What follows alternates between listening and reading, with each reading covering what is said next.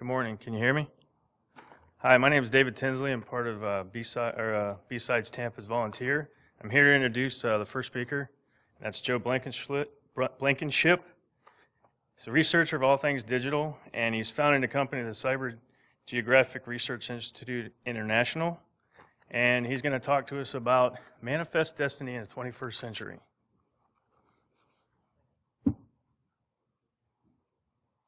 Hello, everybody. Can you hear me okay? I am a soft talker, so if I start like speaking not so loud, tell me to speak up. I, you can yell at me. I'm perfectly fine with that. Um, if you were at bar camp earlier this year, um, this is going to be roughly the same talk. I've been kind of in a legal battle with uh, a Fortune 500 company recently, so I've been having to put my research on hold for like five and a half months. So if any of you have done that, you know it's quite the process. So um, but for you, for those of you who haven't, um, it should be an interesting talk. Um, I think it's an interesting topic. It kind of bridges both the quantitative, qualitative sciences, bridges soft science, hard science, but it helps provide insight to a lot of cybersecurity issues, a lot of things that occur inside cyberspace that you wouldn't necessarily think are connected.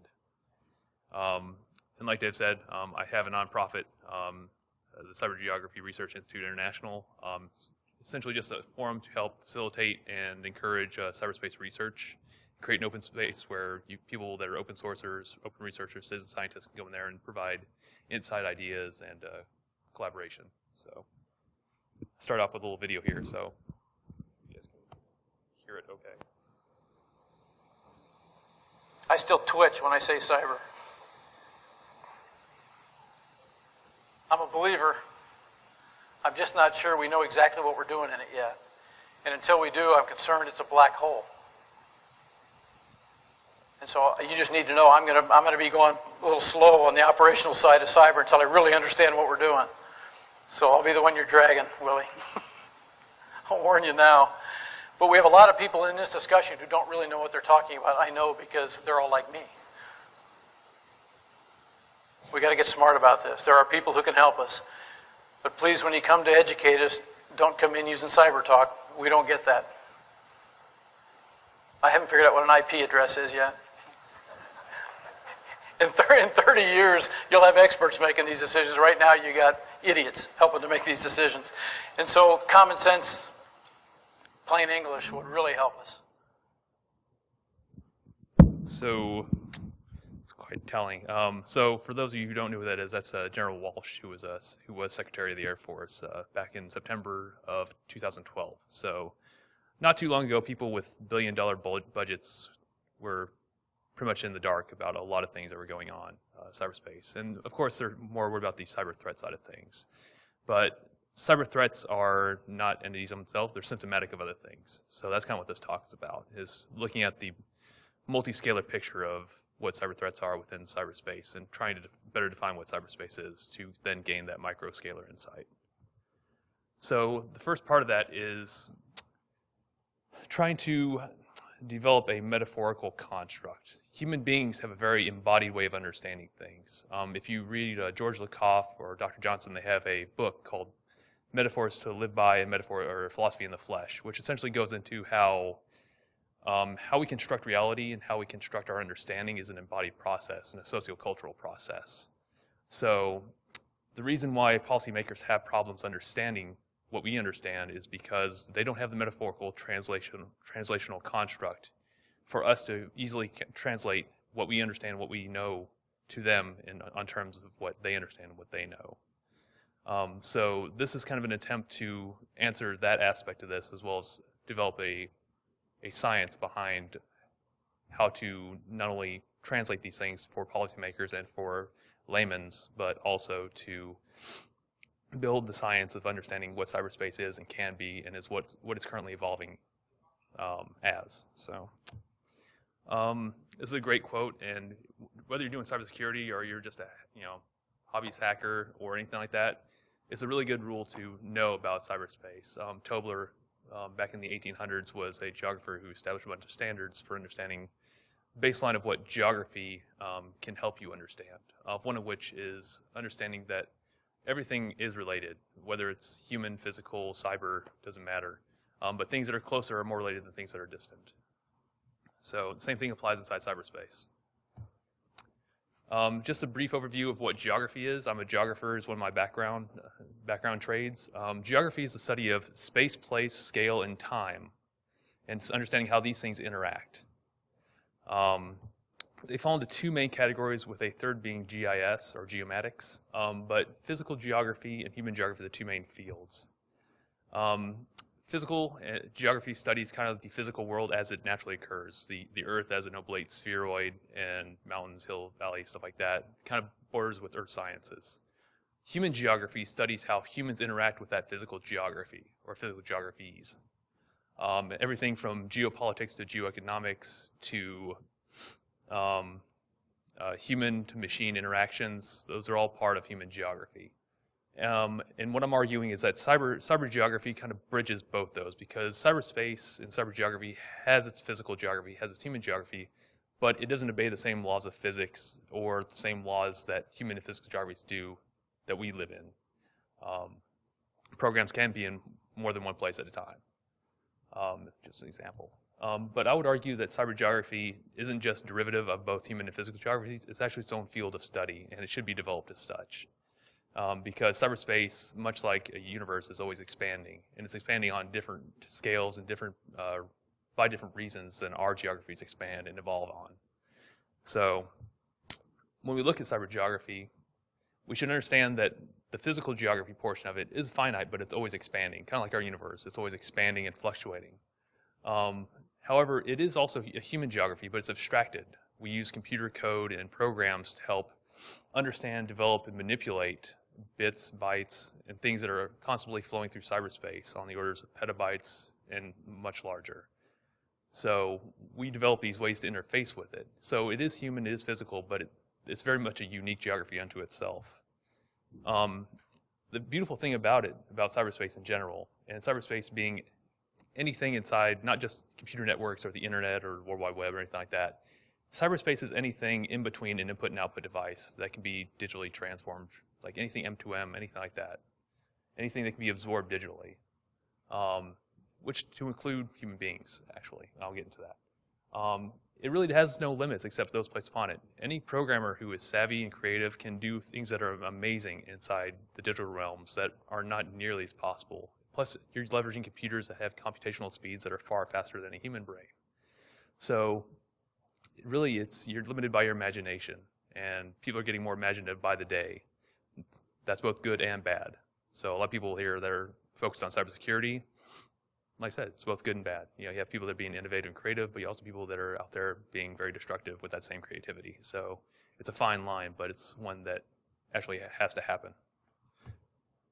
Um, however, we'll get into the third part of the speech, which goes into the fact that the more limits you place inside cyberspace for both individual and group user bases, the more conflict between those bases you'll see. Um, mainly because we are really good at reconstructing what we what we do in our human geographies in other geographies like cyberspace. So um, those conflicts remanifest themselves. Um, I'll just breeze over this really quick, um, kind of just to show you the evolution and stuff like that. So the industrial, industrial revolution took quite a bit of time to develop and execute over, you know, given the technology we have. So digital technologies going from ARPANET back in 68 to MILNET and then to Usenet. The evolution of the the infrastructure baseline the beginnings of the internet took 14 years to evolve. That's much more rapid pace than the Industrial Revolution, um, mainly because we found better and better ways of te technologically fixing problems. The beautiful thing about this is that it completely erased friction of distance for a lot of communication means that previously took much longer to execute, which meant that, meant that collaboration, interaction between actors and groups could be shrunk to almost nothing, and that's globally. And today,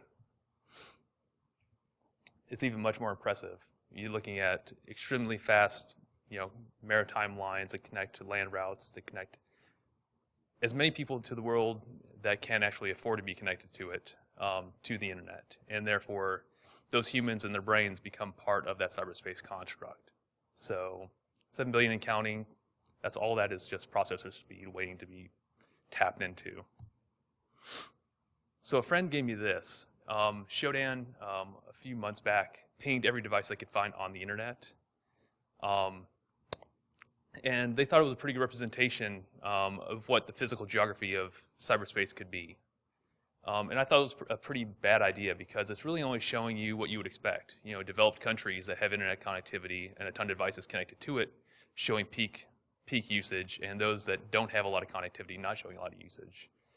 But that isn't a really good footprint. So I went ahead and I looked at World Bank data, and World Bank shows you a little bit more of what you would expect. You see developed countries with the most penetration to the internet, and then developing countries coming up, and then obviously the underdeveloped countries in Africa and other places having very limited access to cyberspace.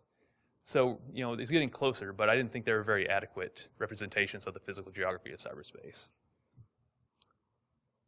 So I thought cartogram would be a much better way of going about it. So here we see the size of the country being the, the, the count user base of people that have access to the internet. And then the color being the percentage of that total population with actual persistent penetration, persistent usage.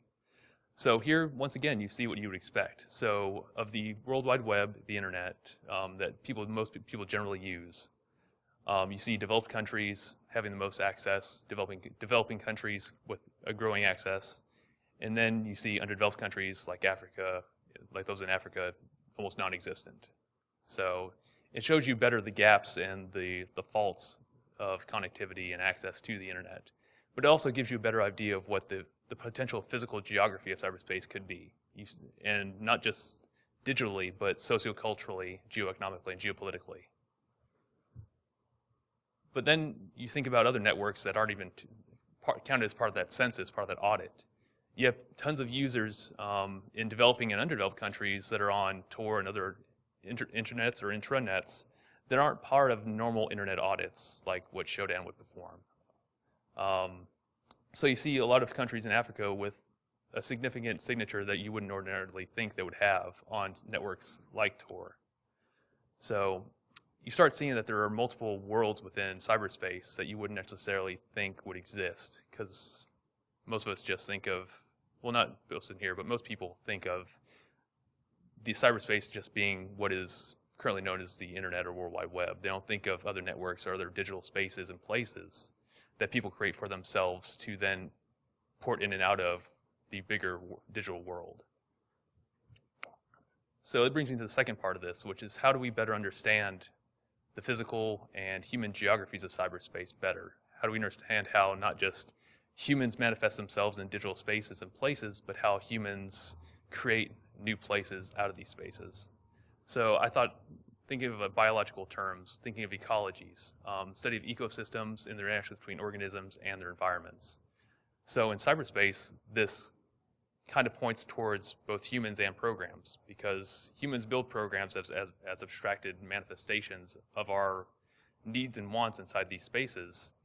But these programs can take on lives of themselves. They can do things once we execute them without our, you know, our nudging or anything like that. They'll go ahead and do their operations and they'll grow. And now that we have mach- machine learning algorithms, you know, better developed NLP every day, these programs evolve not on not on the scale that we would think humans evolve, like you know moving towards singularity, but more on the scale of you know organisms that we see in natural environments. You know, a starfish or a deer or some other mammal that has you know a set function with the environment. They do certain things, and these things can be categorized and watched. Same thing with programs and the humans that are governing them or deploying them.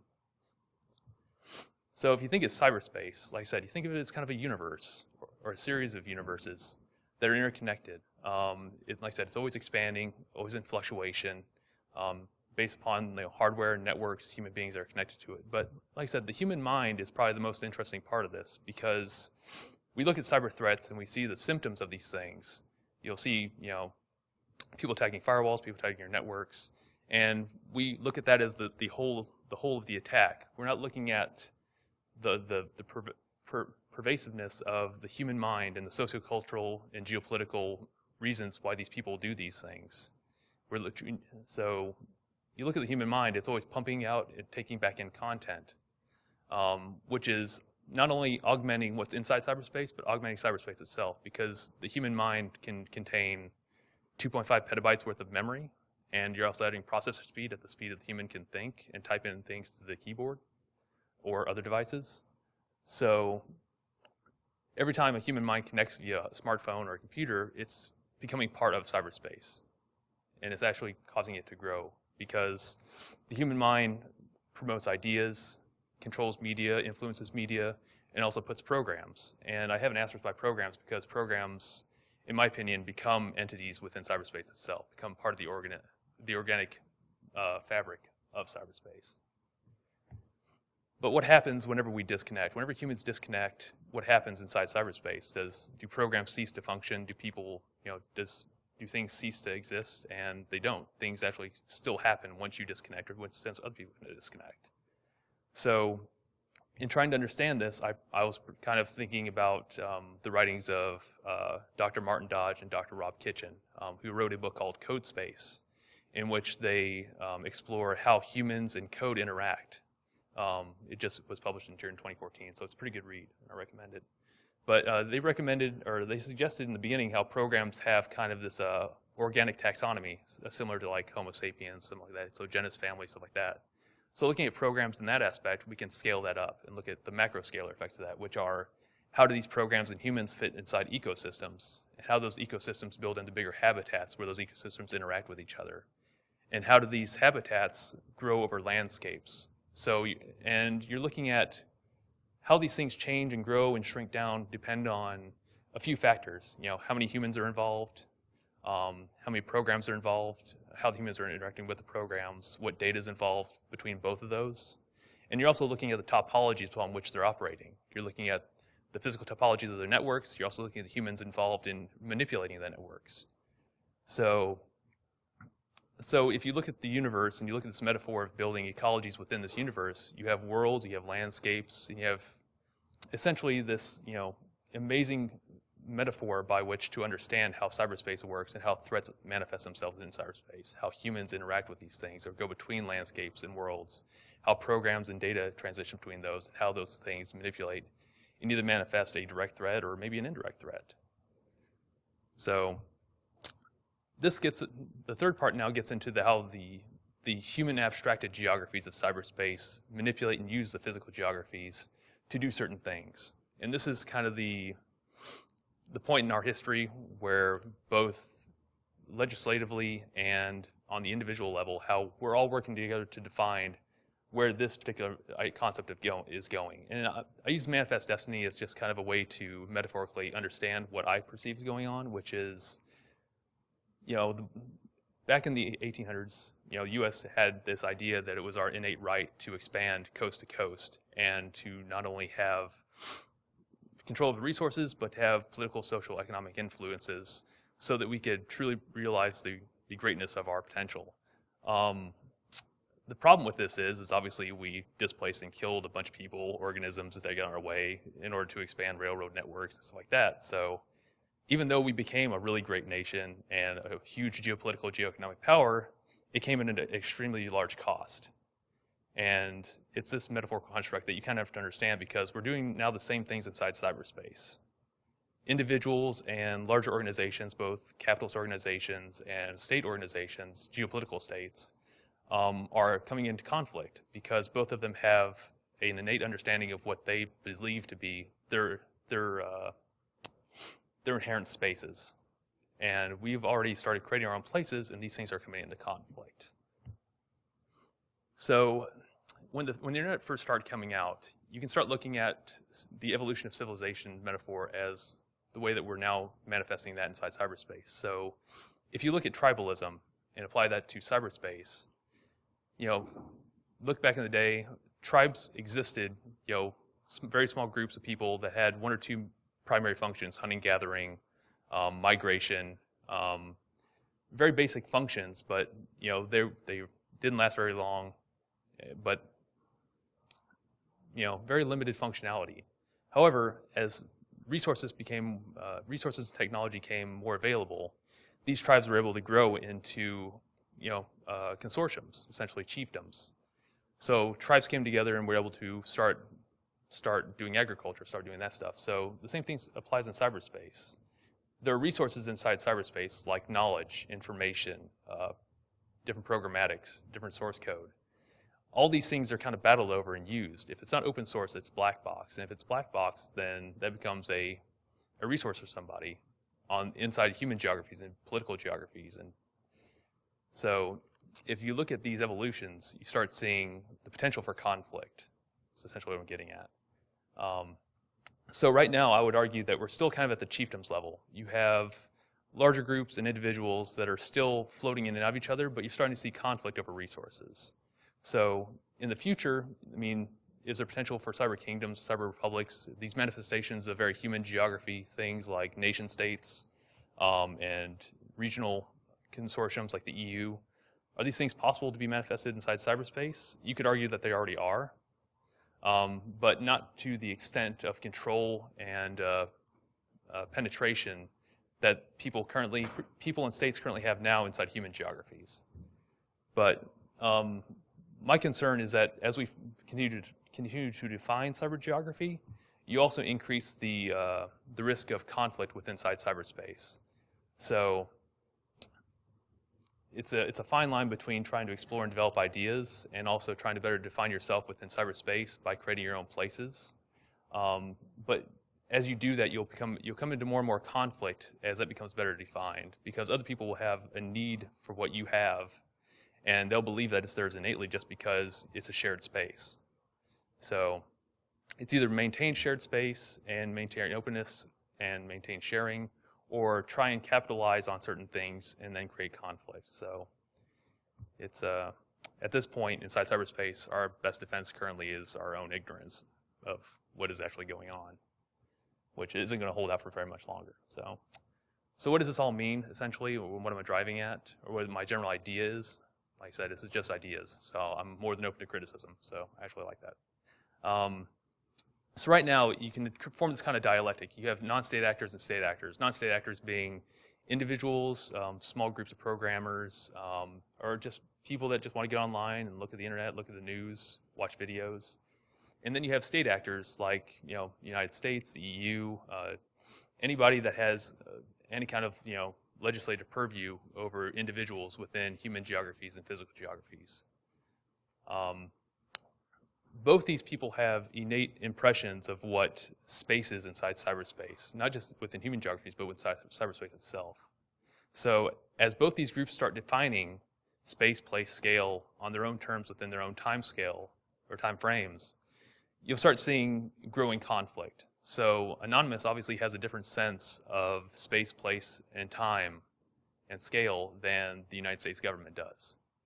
So because they have these differences and they don't have these understandings, they don't, can't, create a metaphor by which to communicate with each other over these conflicts, you'll see what's perceived as either cybercriminality or cyber warfare. But as of right now, we're just trying to fight over what we consider cyber territorialism, which is essentially saying, hey, within this entirety of cyberspace, we perceive these places as our own. And we've, we've been working very long at this, and both parties will be saying the same thing and not coming to any conclusion. So when this occurs and people start conflicting over things and trying to get things that are perceived not belong to them, you have the potential for cyber warfare.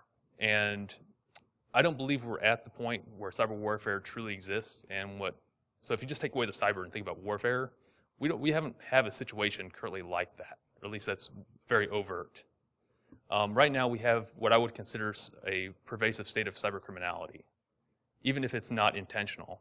Um, you still have people going and doing things, you know, pseudo illegally, you know, whether it's, you know, Pirate Bay or going on the Tor and going to Silk Road, or even if it's just inadvertently downloading something that, you know, had wasn't copyrighted at, at this point and you use it for something else. You know, it's there are certain levels of cyber criminality, but it is pervasive because the borders aren't there. It's not defined.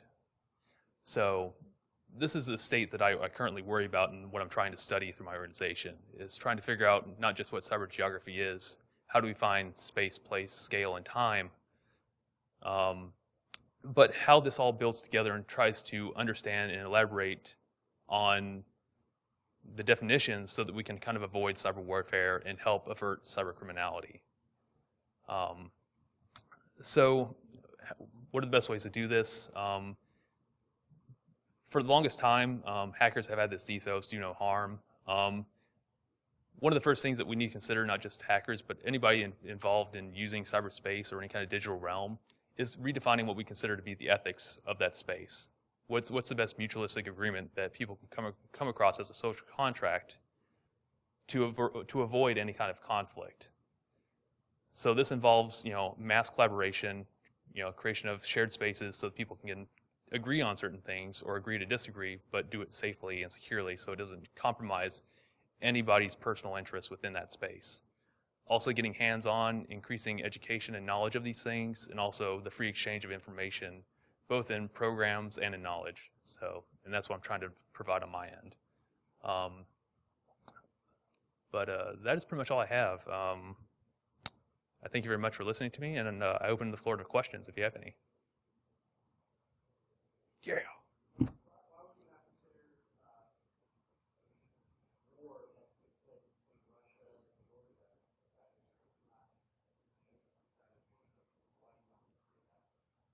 Oh, okay. So uh, what?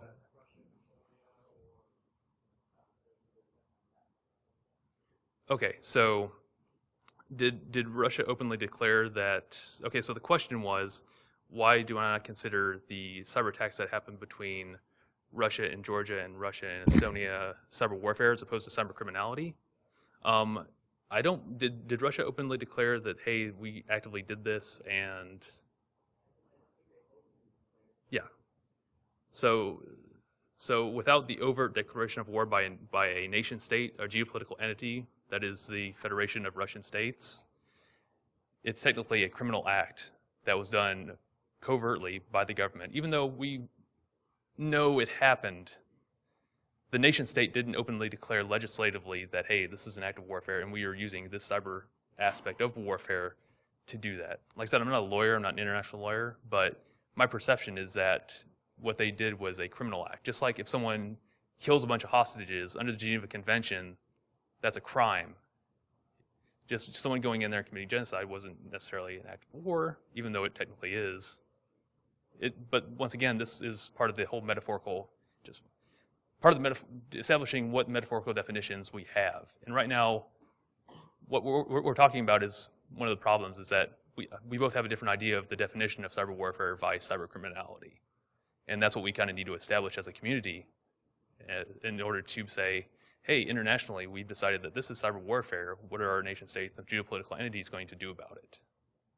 Right now, we're, we're just, you know, we're very, dis, not despotic, uh, we, well, yeah, we don't have an agreement on definitions right now, and that's what we need to build towards first. So, but I agree with you. Yes, was was it technically an act of warfare? Yeah, technically, yeah. One nation state attacked another nation state, but under the, under what we legislatively consider declarations of war, they didn't do that. So it's technically a criminal act. It's the fine line between you know genocide and uh, ethnic cleansing. You know which one's put under the Geneva Convention, which one is a intranation issue of criminality. So, okay, sorry.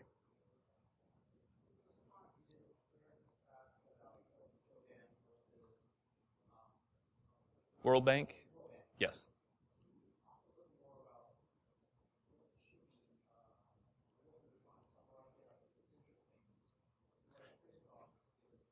Okay, so Yes. Okay. So that was that was an attempt to try and understand the what we consider the physical geography of cyberspace, and uh, so the first two maps, the Shodan map and the um, World Bank map, those are what we call Web Mercator maps, and those are technically compromise projections of a 3D world into a 2D map. So cartographically, it's not a very good representation that preserves either area, shape, distance, or direction within cartographic principles two-dimensionally.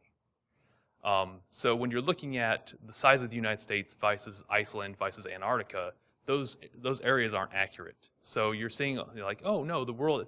When you look at the colors and you look at the shapes, you're not seeing a true representation of the world as it is. So when you see a, a, a bunch of like developed countries having a ton of internet access, and that looks like half the world has internet access, that's incorrect. You know, Africa is obviously much bigger than Iceland in the real world but on those maps they don't look like it. So it's it's to kind of show that population density wise, vice vice actual physical area, we're not seeing the real picture of what cyberspace technically is physically, both in network topologies and in population density using those, like human minds connecting to the network. So that's why cartograms are a much better way to represent that. So did that answer your question? Okay, Any other questions? For people that got here late and did, don't know what I'm talking about? Yes. Very, very good, uh, very good question. And that was uh, part of the. Uh, I kind of rolled them into the state actor category because.